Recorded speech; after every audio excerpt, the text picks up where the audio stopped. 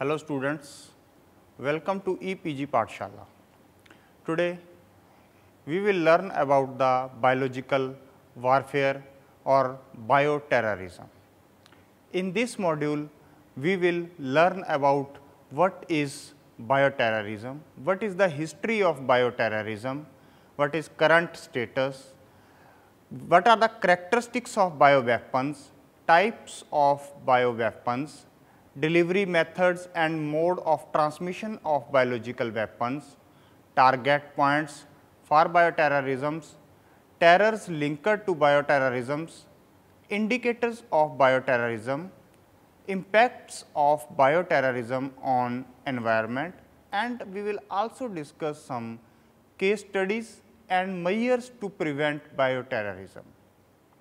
A short review is also given about the Indian scenario along with the concluding remarks. So, introducing about the biological terrorism or biological warfare. Biological warfare or germ warfare is the misuse of toxin produced or disease causing microorganisms with the aim to harm or kill the humans, animals or plants at large scale as an act of war. The microorganisms used for the process are the pathogenic viruses, bacteria, rickettsia and fungi. There are three terms in use. One is biological warfare, another bioterrorism and one more biocrime. These terms are almost similar and can be used interchangeably depending on the target of the uh, depending on the basis of target that is if used to kill specific or small number of people that the term used is biocrime. But if the target population is large, the term used is bioterrorism or biological warfare depending on the motive of the use. The use of biological weapons is not a new concept and it started before 6th century. It involves the determined creation of epidemics by enemy action. The microorganisms used in biological warfare are disseminated in mainly two ways. First one is the formation of clouds over the target population and second is contamination of supplies such as water, food and air of target population. Impact of biological warfare mainly depends on the type of microorganism, amount and dispersal method. Main reasons for the attraction of biological warfare products are their easy transportability, effective in small amounts, cost effective than as compared to chemical agents, etc.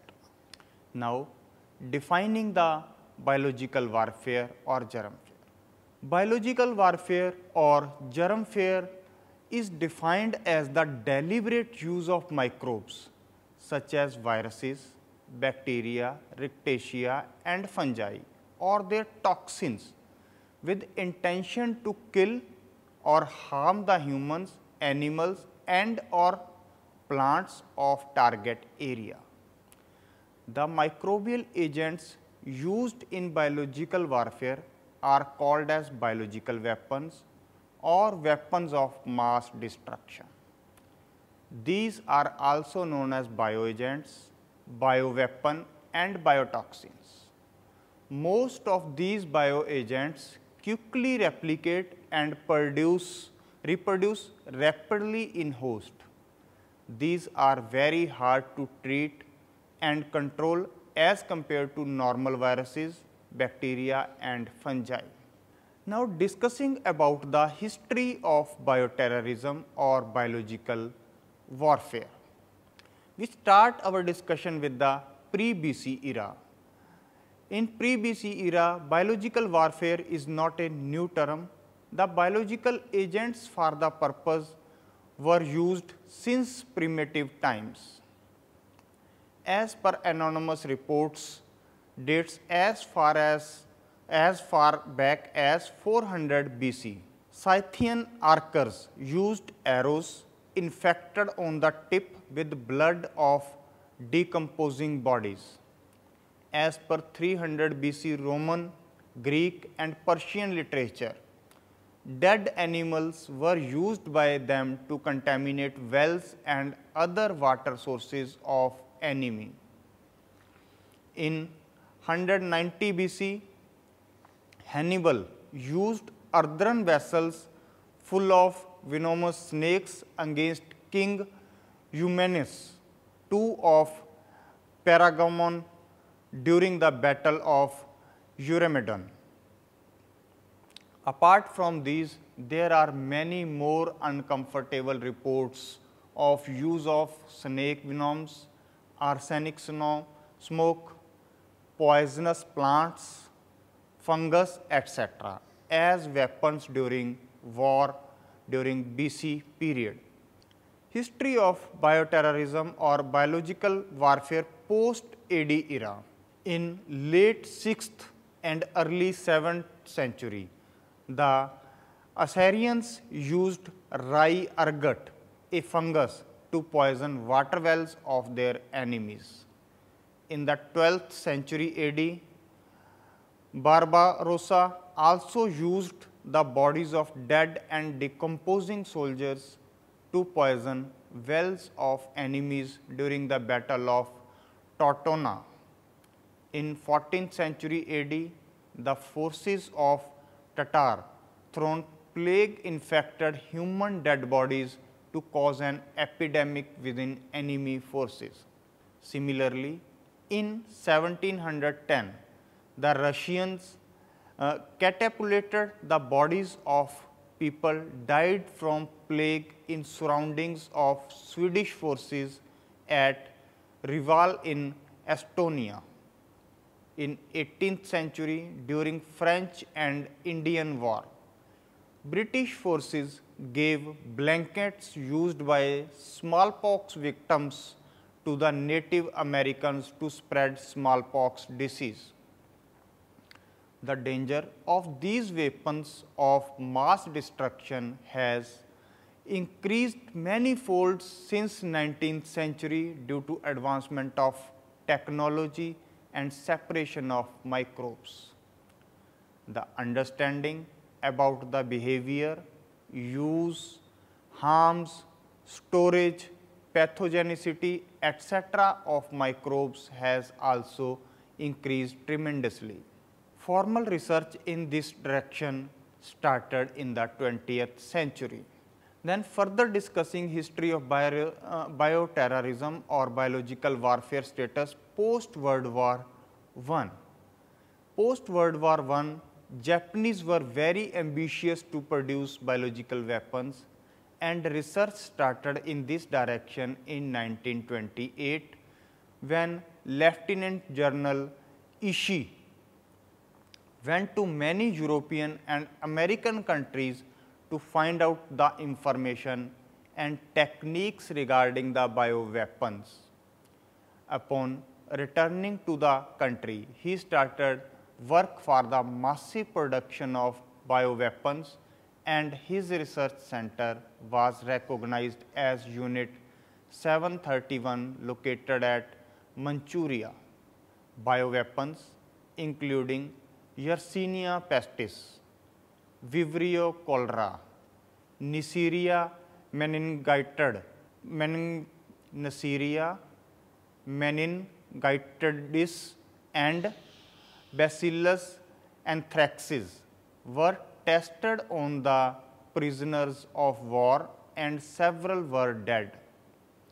About 1700 Japanese soldiers died due to poor control of infection spreading. During 1972 anthrax bomb were tested by British Army on islands of Grenada and Scotland coast. Further continuing the history of biological war or bioterrorism post World War II. After the end of World War II, US was behind many countries regarding the research on bioweapons and started work with the Unit 731 of Japanese. The US Navy conducted an experiment to determine the negative impacts of bioweapons at local people in San Francisco Bay during 1950. They used Serratia marcescens bacterium because it is less pathogenic and cause only skin and respiratory infections. Experiment was tested in Georgia and Florida between the 1956 and 1958 through the release of swarms of mosquitoes, those act as yellow fever carriers. This experiment was kept as top secret, but some reports disclosed that some persons died due to yellow fever. A large-scale experiment was conducted during 1966 by dissemination of Bacillus subtilis in New York subway in 1966. This pathogen caused the infection among the 1 million people main purpose of this experiment was to check the dissemination of pathogen from point source to spread over the large area. Now, coming on to the current status of bioterrorism. No confirmed reports regarding the biological weapons are available as these are kept highly confidential by the different countries as per Arms Control Association USA report 2000 September 2017 nearly 17 countries that is Canada, China, Cuba, France, Germany, Iran, Iraq, Israel, Japan, Libya, North Korea, Russia, South Africa, Syria, Taiwan, the United Kingdom and the United States are believed to currently possess biological weapons. Some states have officially declared destruction of their biological weapons, while some has not declared and counter allegations are made by these countries in this regard. As far as India is concerned, India in 1997 declared that it possessed 1044 metric tons of mustard agents and the same has been destroyed by the year 2009. What are the characteristics of bioweapons? Effective in very small amount and easy to handle. Another characteristic is easy to transport across the borders develop more virulent strain by exploiting the genetic engineering. These are cost effective and any underdeveloped country can also develop them easily. Affect more persons than chemical weapons and long lasting terror. Easy to acquire, cultivate and disseminate these are generally self-reproducing and difficult to detect. Now, discussing the types of bioweapons. Bioweapons, because of their cheapness, are also known as poor man's atom bomb on the basis of their ability to cause mortality they are classified into three categories, category A, category B and category C. So, category A includes the organisms which are high priority agents as they can be easily transmitted from person to person and cause high mortality. The examples are smallpox, anthrax and plague. Category B, these are second highest priority agents as these are moderately easy to disseminate and cause moderate morbidity and low mortality. The examples are Q fever, brucellosis, encephalomyelitis. Examples are Q fever, brucellosis, and encephalomyelitis. Then bioweapons of category 3. These are third highest priority agents. These can be easily disseminated because of the availability, ease of production and potential for high morbidity and mortality. For example, antiviruses, yellow fever, etc. Now, the most important is the delivery methods and mode of transmission of biological weapons. Delivery or dissemination methods play significant role for the mass destruction potential of the weapons because mass destruction of biological weapons depends on the delivery method. There are two traditional methods for delivery or dissemination of bioweapons. Number one is spray devices.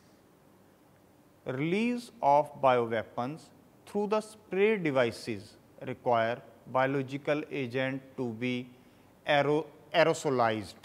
These can be transported through any transport carrier and can be sprayed.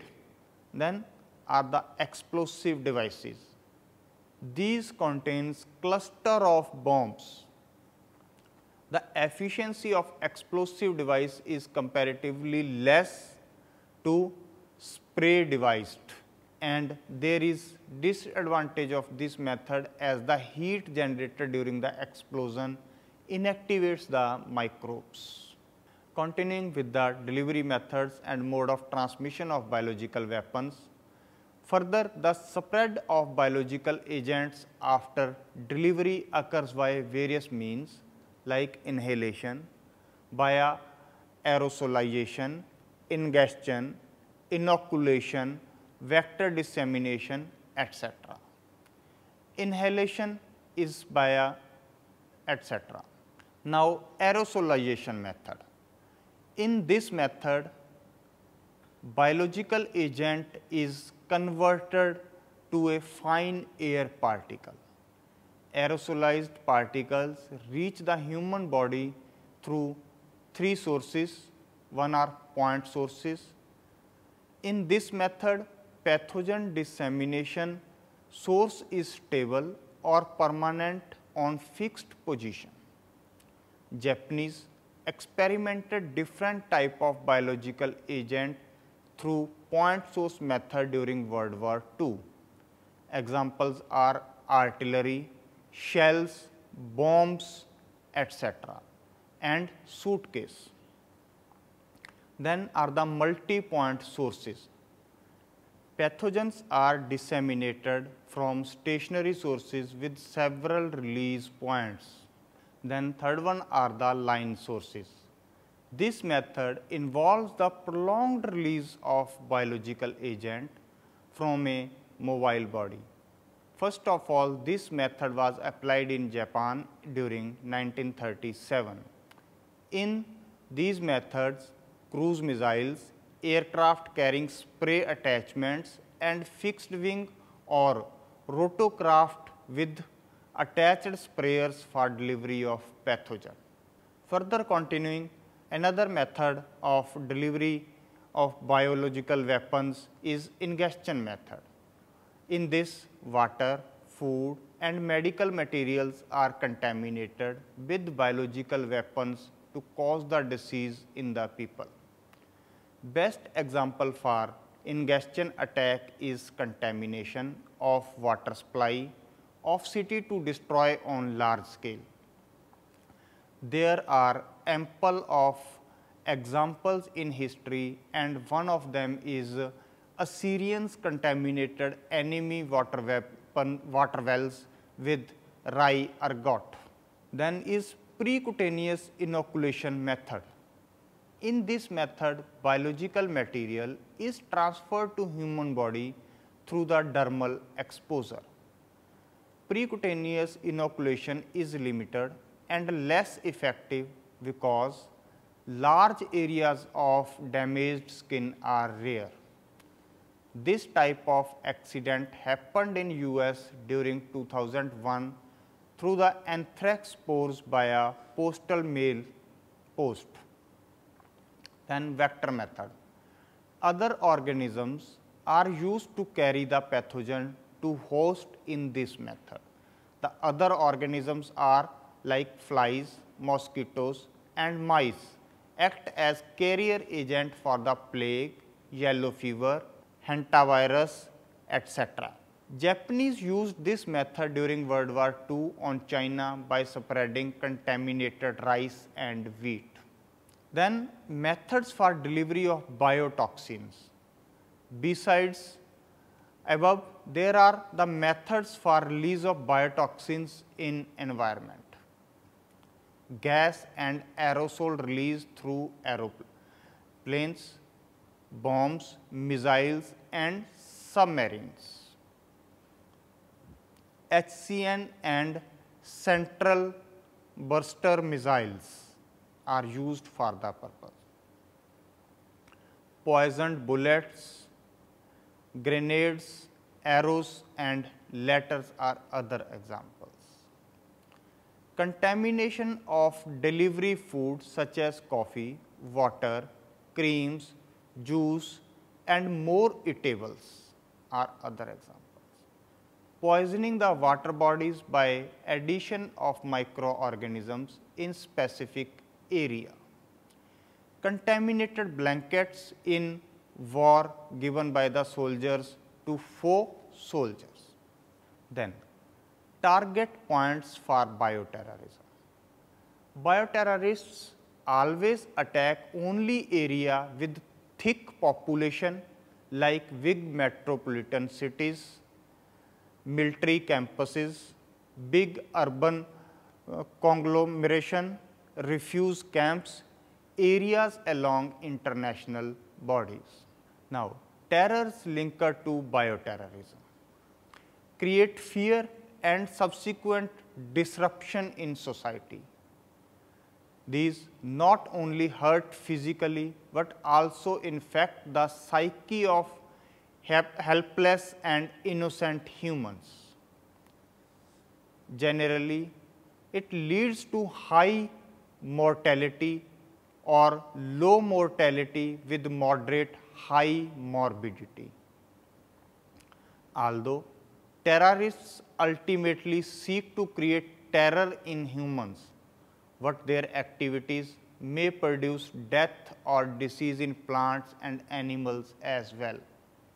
In future, may be most vicious threat to civilized society environmental contamination could pose continuing threat. Discussing the indicators of bioterrorism. A disease entity that is unusual or does not occur naturally in a given geographic area or combinations of unusual disease entities in the same patient populations. large number of both military and civilian casualties in particular areas.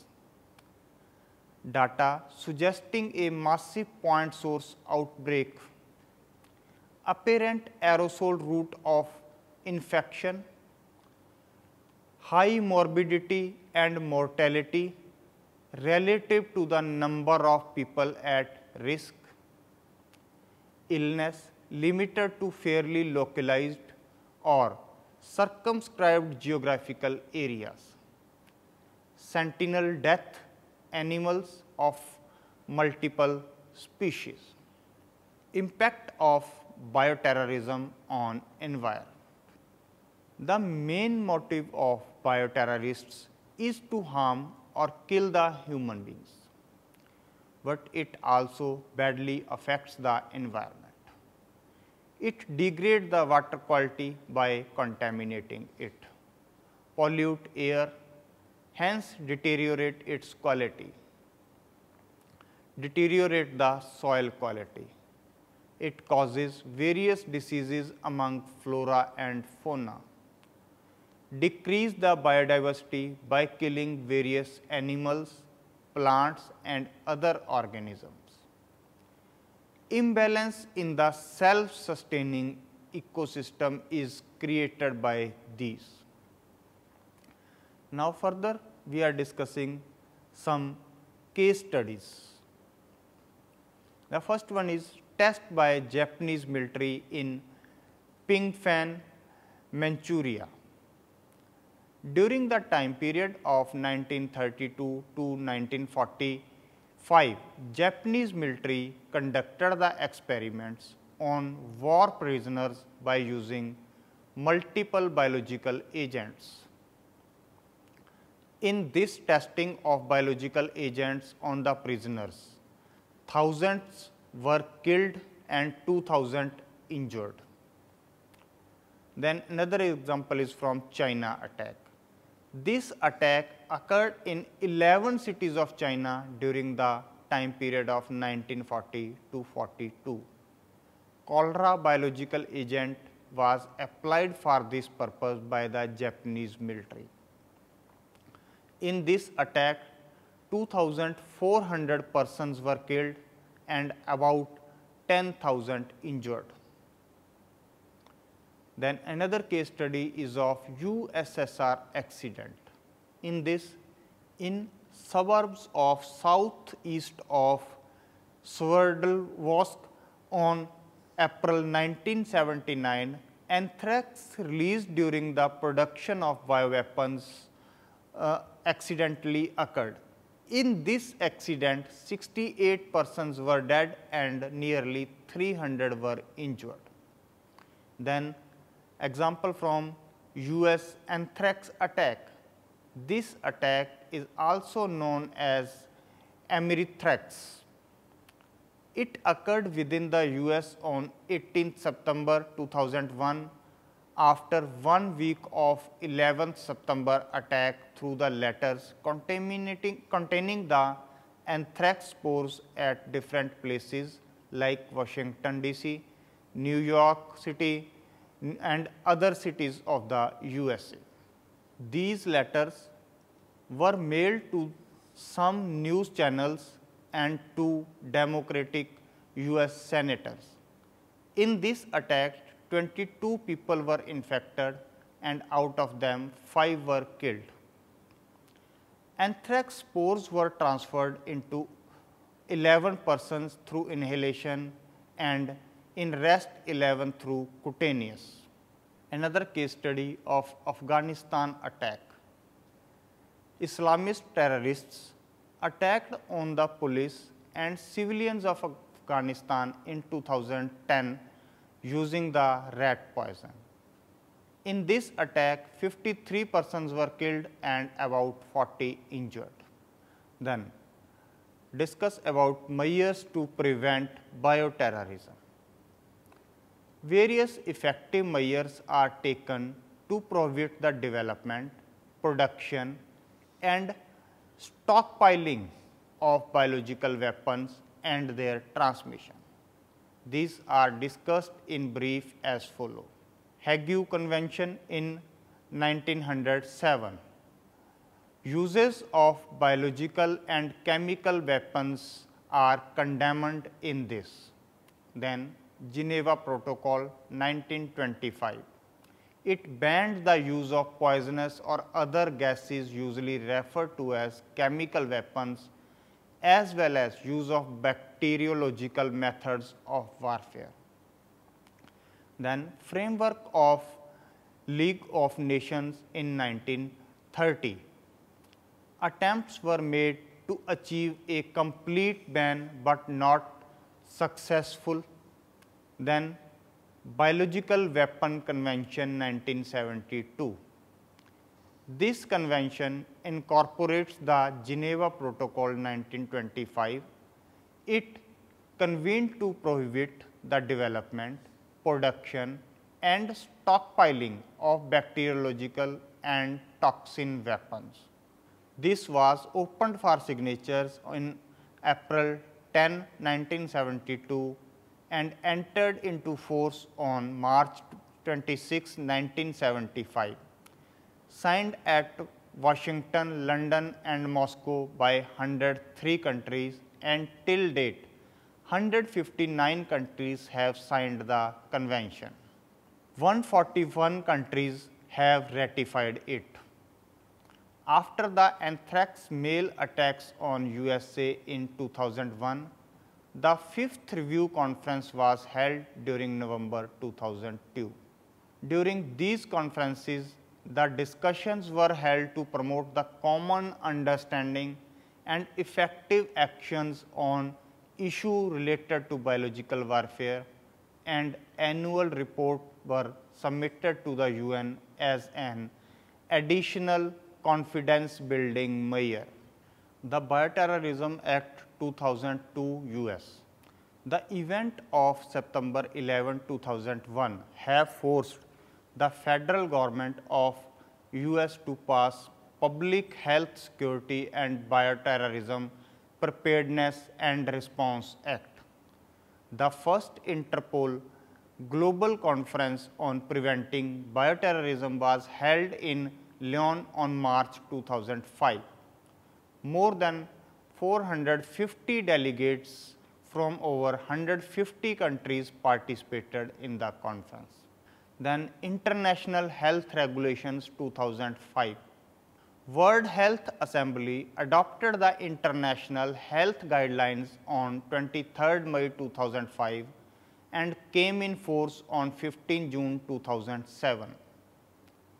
Main purpose of these guidelines was to protect, control and provide a public health response at international level to prohibit the unwanted interference with international traffic and trade. Then discussing the Indian scenario. According to Constitution of India, health is a state subject and it is the primary responsibility of state government to deal with biological disaster. India has a good quality defensive biological warfare capabilities because it has both extensive and advanced dual use pharmaceutical industry. India has already ratified Biological and Toxin Weapons Convention 1975 and pledged to abide by its obligations. Indian President APJ Abdul Kalam asserted that India will not make biological weapons. It is cruel to human beings. In India, there are also some research labs to grip biological attacks and first lab defense research and development establishment was established by Defense Research and Development Organization that is DRDO located at Gwalior in Madhya Pradesh. Main aim of this lab is studies of toxicology, biochemical pharmacology and development of antibodies against the biological agents like anthrax, brucellosis, cholera, plague, smallpox, botulism, viral hemorrhage, fever and many more. Indian government has some significant efforts to prepare its military force against biological and attack and begun to prepare to medical personnel to deal with this kind of problems. Indian government increased their interest in this field after receiving doubtful letters believed to be containing bacillus anthracis spores in 2001, but none of them was not positive result. It was just a white powder India's Central Industrial Force that is CSIF has begun has been established to defend from biological attacks and or and organized two specially skilled first responders to scene of biological attack. On 3rd June 2015, India and US have signed a new 10 year defense framework agreement that includes the work cooperatively to develop defense capabilities and lightweight protective suits effective in biological hazard management. The following institutions are dealing at various levels for the purpose. Then National Disaster Management Authority that means NDMA. The authority comes under the Disaster Management Act 2005 and seeks to institutionalize mechanism at district, state and national level for planning, preparing and ensuring rapid response to both natural as well as man-made disasters. National Crisis Management Committee. This committee is consisting of 14 union secretaries including the chairman and provides effective coordination and implementation of response in case of disasters. Then National Disaster Response Force. This agency has been constituted under the Disaster Management Act 2005 for the purpose of the specialized response to disaster situation. Presently, NDRF has 8 battalions and positioned at 8 different locations and this force is already trained and equipped to handle the situation. Then Ministry of Health and Family Welfare. This is a nodal agency for handling of epidemics and is advised by the Technical Advisory Committee under Director General of Health Services DGHS. National Institution Institute of Communicable Diseases is also nodal agency for investigating outbreaks and also provides teaching and research support most of the states have regional and family welfare centers.